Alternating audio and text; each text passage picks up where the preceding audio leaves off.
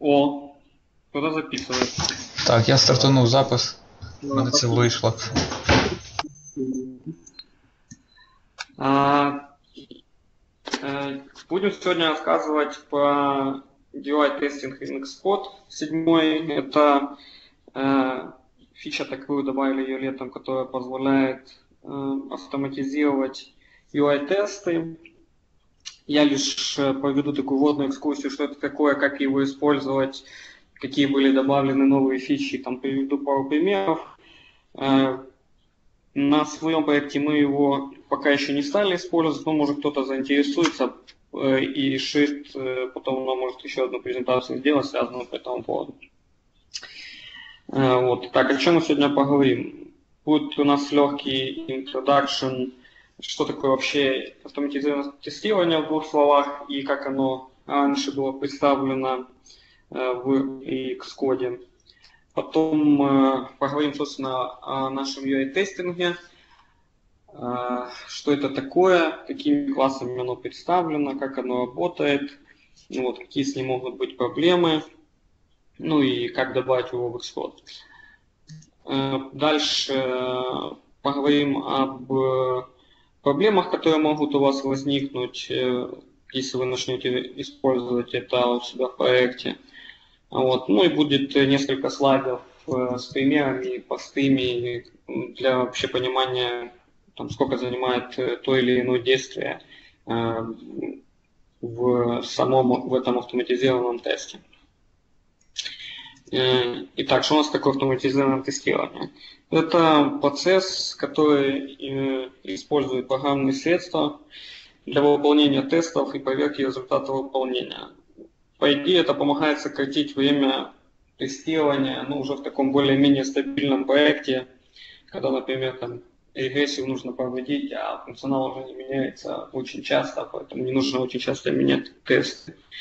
Раньше в Xcode это было UI Automation, э, это был такой упрощенный JavaScript, который позволял обращаться к э, элементам Э, в user интерфейсе. Ну и всякие альтернативные источники, это там Calabash, Kif, э, Appium. Э, вот. UI Automation и UI Testing, они используют accessibility как базу для обращения к UI-элементам. Это такая фича у, Apple, которая позволяет людям с ограниченными возможностями работать с вашими приложениями. Вот. Для всех элементов э, в UI нужно задавать обязательно Accessibility Identifier, чтобы это работало в UI-тестах. Так, что у нас такое UI-тестинг? Что он позволяет? Ну, самое главное, что он позволяет, я думаю, все знают, да, находить UI-элементы в дереве э, э, наших э, вьюх, которые находятся на экране. Также позволяет э, использовать эти элементы как, э, как будто это настоящий пользователь. Использует XC-Test Framework. Ну, собственно, это стандартный фреймворк. Э, это э, главное, чего не хватало, тут стандартный фреймворк э, в Xcode, который используется для написания юнит-тестов. Ну и сейчас добавили туда классы, связанные с UI-тестами. В принципе, это стало намного удобнее, чем писать это все на JavaScript. Э, ну, также запускается в отдельном процессе, в принципе, когда, если вы напишете какой-то свой автоматический тест, вы видите, как запускается симулятор, как в нем происходят магические действия, которые вы написали в тесте, как это все нажимается. Поддерживает Objective-C и Swift. Поддерживает чейновые операции. Ну, как-то удобнее и красивше выглядит, конечно, это на Swift. Может, на это и было ориентировано. Ну, можно писать и на том, и на том, если нужно. Дальше, как это работает? Э, есть основные классы для UI-тестирования. Это XUI Application, который представляет аппликуху. Э, в нем ничего такого интересного нет. В принципе, только есть launch аргументы, которые можно задать, чтобы как-то э, настроить приложение или тесты, чтобы оно как-то взаимодействовало с тестами немножко по-другому. Если XUI элемент – это прокси для всех элементов, э, такая абстракция над всеми вьюхами, когда мы находим этот конечный XUI элемент, э, он позволяет выполнять различные действия, э, связанные с вьюхой, например, там tap, double tap, свайпы разные, там, rotate и такие прочие вещи, которые могут вам понадобиться. Ну и XUI Element Query – это объект, который позволяет найти элементы э, в дереве. Там э, тоже ничего сложного нету, есть предикаты, которые можно писать, можно находить элементы по индексу э, ну, и всякие такие вещи. Ну и ниже картиночка, которая показывает маленький, по-моему, простой пример из VVDC. Это самый простой код, э, самый простой тест. Мы запускаем аппликуху, потом э, находим кнопку с, именем add, э, тапаем на нее и проверяем, появилась ли в таблице ячейка, то есть увеличилось ли количество на единичку. Какие были добавлены новые фичи после анонсирования этого на VDC, это в основном добавлялись уже в, э, в Xcode, бетах и всяких таких версиях. Кстати, документации так до сих пор на Apple сайте по этим классам нету. Ну, там есть в свободном доступе документация на GitHub, которую сгенерировали по хедерам. А, вот. Э, добавилось что? Добавилась возможность ждать какие-то синхронные операции, это работает с помощью этих двух функций expectation for predicate и wait for expectations with timeout. Они позволяют э, подождать выполнение синхронной операции, проверить потом э, по предикату, выполнилось ли какое-то там действие. Будет у нас пример, в экземплах мы посмотрим. Вот, подобрали класс XUA Coordinate, который позволяет э, получить, э, с каждой вьюхи можно там получить координату с каким-то отклонением, и потом можно по этой координате там тапнуть, э, сделать двойной тап или еще что-то, позволяет э, иногда пойти какие-то там сложные ситуации, если интерфейс сложный сильно. Добавили для MapView возможность приблизить карту, не было в первой версии такого. И добавили для пикеров возможность крутить пикеры, и добавили возможность э, использовать хардварные кнопки э, с помощью класса XUI Device, там у него есть метод pressButton, и там есть список констант, какие кнопки можно, в принципе, нажимать через тесты, если это нужно, если ваша аппликуха она будет реагировать на эти нажатия. Дальше, как добавить это в Xcode, очень просто, на самом деле. Э, самое главное, что должен быть Xcode 7 и проект должен быть Э, таргетирован на S9. Потом мы добавляем э, всего лишь UI Testing Bundle, и у нас автоматически появляется наш первый файлик э, с тестом. Тут мы можем писать все, что нам угодно, в принципе. Далее, какие у нас основные проблемы могут возникнуть в процессе написания теста? Э, тесты сейчас, ой, тесты, э, получается, мы не можем никак поинтерактить с поповерами в тестах.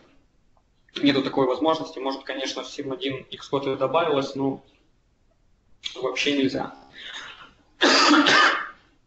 Sorry. А, дальше.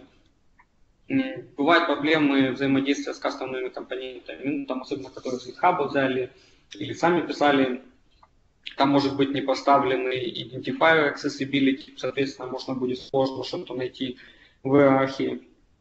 Э, может там возникнуть проблемы с какими-то там хитрыми вьюхами, подвьюхами, которые прячутся где-то. Вот, ну, в принципе, это все можно проверять и пытаться как-то обходить, просто на это будет потрачено время.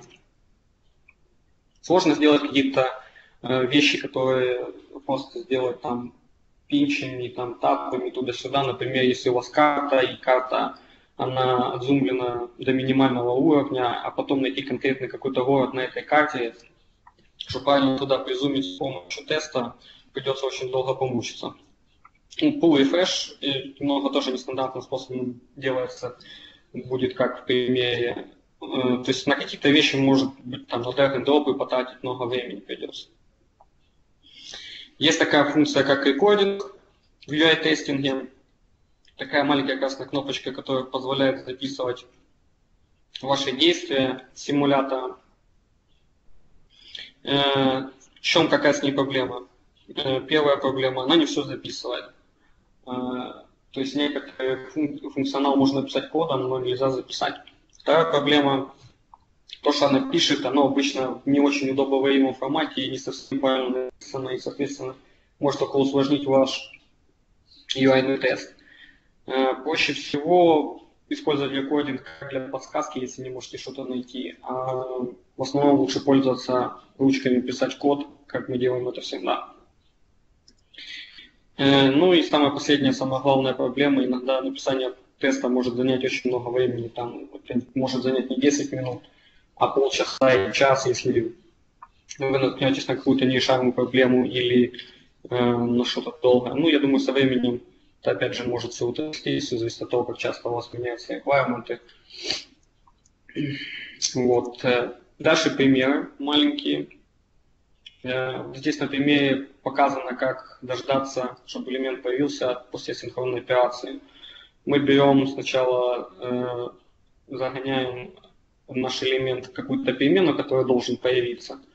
Потом создаем для него предикат, который Э, проверяет нам флаг exist. Этот флаг э, показывает нам, существует ли такой элемент в дереве э, вьюг или не существует. То создаем expectation для него, запускаем асинхронную операцию и ждем, пока этот элемент появится в течение 5 секунд. Потом, соответственно, проверяем, а там появился этот элемент или не появился. И ошибку или успешный ответ. Вот. Дальше это йодинг э, ячеек в таблице. Вот. Э, опять же, как, в принципе, найти какой-то элемент, который вы не знаете, как называется. Это запустить Accessibility Inspector. Э, знаем, что можно мувать ячейки в таблице, в принципе, я думаю, все знают. И там появляется всегда кнопочка, которая, за которую можно тащить. Вот эта вот кнопочка, она, если посмотреть внимательно, у нее префикс есть road, и тогда можно одну кнопочку перетащить в другой кнопочке и так перетащить рядочек. Ну, тут, чтобы понимать, какой нестандартный способ нужно использовать, чтобы как-то что-то перетащить. Нету простого действия. Э, ну и вот pull refresh пример с использованием э, XCUI Coordinate. Тут мы берем первую ячейку, от которой мы будем тянуть, получаем две координаты с с нулевым отклонением, с отклонением 6, а потом тащим, тащим от одной координаты к другой, и получается у нас такой себе to refresh. Э, вот. Самая главная еще штука, которую хотелось бы сказать, э, надо использовать э, Accessibility Inspector, и он есть и в iOS, и в macOS. Отдельно он включается, он позволяет вам посмотреть каждый ваш элемент, найти, если вы что-то не найдете, там посмотреть, как это называется, э, увидеть, видит ли вообще Accessibility инспектор ваши элементы. Если он их не видит, то тогда оно у вас в тестах никогда не появится, и вы никогда его не найдете, хотя, хотя он присутствует на экране. Поэтому везде правильно должны поставлены быть идентифайеры. Вот. Э, там тоже есть э, разные правила для супервью и обычных view. Вот. Но самое главное, это самая ваша любимая будет утилита, если вы будете пользоваться UI-тестами в вашем проекте. А, ну и красненькие итоги а, во всем этом. UI-тестинг – это не дешевая операция при разработке, потому что она может действительно занять у вас а, огромный кусок времени. Вот, и, не, и непонятно, насколько а, принесет она вам бенефита в вашем проекте но она классная для маленьких простых проектов, возможно, где вам даже и не нужны QA, можно какие-то простые тесты написать самому э, и погонять их постоянно э, на своем приложении, если добавляется какой-то функционал, это будет э, качественно и быстро. Вот. Ну и последнее, UI-тестинг, это за ним уже будет будущее, потому что UI Automation уже как бы deprecated, и, скорее всего, в в следующей версии iOS мы увидим а, определенный новый набор функционала, который нам упростит жизнь и поможет писать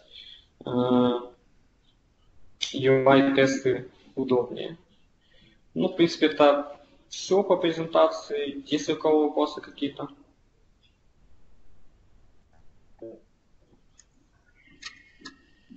Все молчат. Вопросов нет?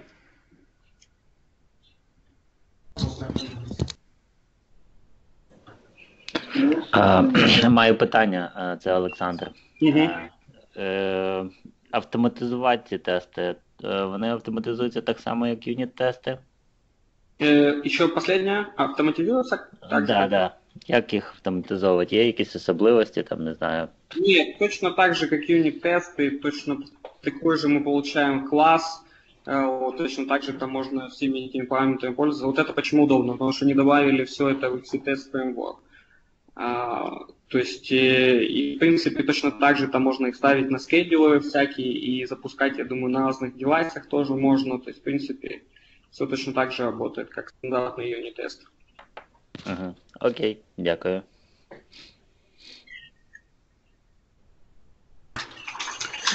Е, В мене є питання, це Іван.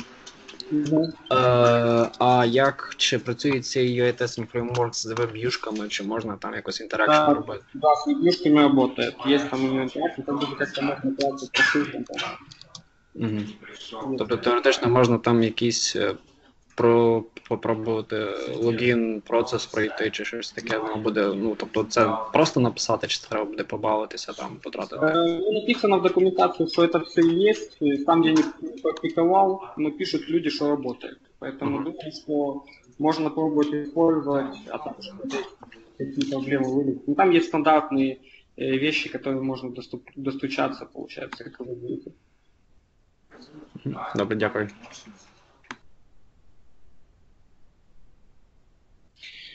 Ну окей, тогда все, я стопаю э, экранчик, шарик.